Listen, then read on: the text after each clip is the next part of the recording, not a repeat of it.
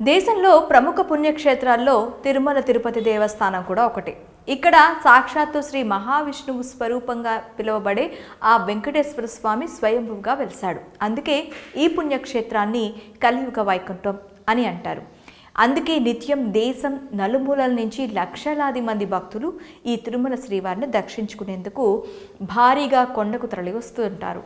ఇకపోతే ఈ తిరుమల కొండపైనున్న ఈ వెంకన్న స్వామికి ఎంత ప్రాముఖ్యత ఉందో ఆ తరువాత లడ్డూ ప్రసాదం కూడా అంతే ప్రసిద్ధిగా నిలిచింది.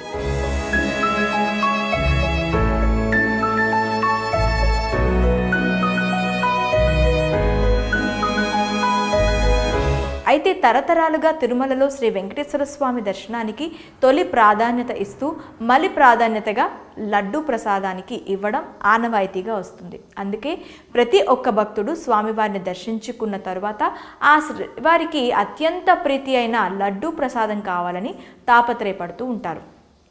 ఇందుకోసం భారీ సంఖ్యలో భక్తులు క్యూ లైన్లో నిల్చుంటారు. మరి అంతలా ప్రసిద్ధిగాంచిన ఈ తిరుమల తిరుపతి లడ్డూ ప్రసాదం విశిష్టత ఏమిటి? దీని వెనుక ఉన్న చరిత్ర ఏమిటి? అనే ఆసక్తికర విషయాలను ఇప్పుడు తెలుసుకుందాం. తిరుమలలో ఆ శ్రీవారి లడ్డూ ప్రసాదం వెనుక చరిత్ర ఏమిటంటే క్రీస్తు శకం పద్నాలుగు వందల నలభై నాలుగులో తిరుమలలోని శ్రీవారికి సుఖీయం నైవేద్యం సమర్పించేవారు. ఆ తర్వాత క్రీస్తు శకం పద్నాలుగు వందల యాభై ఐదులో అప్పం క్రీస్తు శకం పద్నాలుగు వందల అరవై ఒకటిలో వడ క్రీస్తు శకం పద్నాలుగు వందల అరవై తొమ్మిదిలో అత్తి రసం పేర్లతో తయారు చేసిన ప్రసాదాలను స్వామివారికి నివేదించేవారు. అది కాస్త క్రీస్తు శకం పద్నాలుగు వందల ఎనభైలో మనోహరం పేరుతో తీపి పదార్థాన్ని నైవేద్యంగా స్వామివారికి సమర్పించడం జరిగింది. ఇదే కాలక్రమంగా క్రీస్తు శకం పద్దెనిమిది వందల నాలుగు సంవత్సరంలో ఉమ్మడి మద్రాస్ రాష్ట్ర ప్రాంతాన్ని పాలించే ఈస్ట్ ఇండియా కంపెనీ హయాంలో శనగపిండి పాకంతో తయారు చేసిన బూందీని ప్రసాదంగా వినియోగించే ఆచారం ప్రారంభమైంది.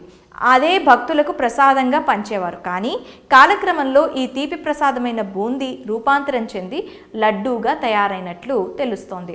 ఇది కూడా క్రీస్తు శకం పంతొమ్మిది వందల నలభై మూడో సంవత్సరంలో రూపాంతరం చెందినట్లు తెలుస్తుంది. అయితే మొట్టమొదటిసారిగా తిరుమల తిరుపతి దేవస్థానంలో పంతొమ్మిది వందల యాభై సంవత్సరంలో జరిగిన పాలక మండలి సమావేశంలో ఈ లడ్డూను తయారు చేసి విక్రయించినట్లు తెలుస్తోంది.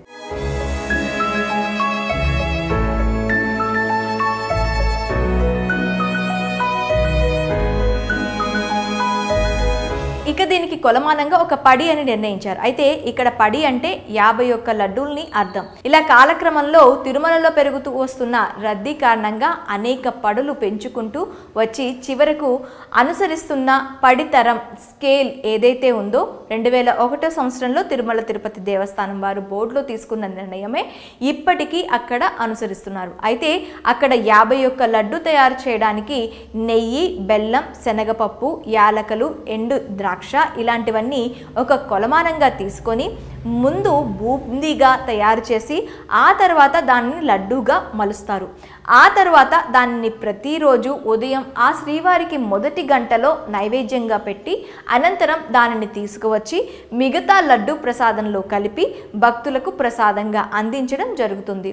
అయితే శ్రీవారి లడ్డూల్లో కూడా మూడు రకాల ప్రసాదాలు ఉంటాయి. ఒకటి కళ్యాణ లడ్డు దీన్నే పెద్ద లడ్డు అంటారు. రెండవది ఆస్థానం లడ్డు.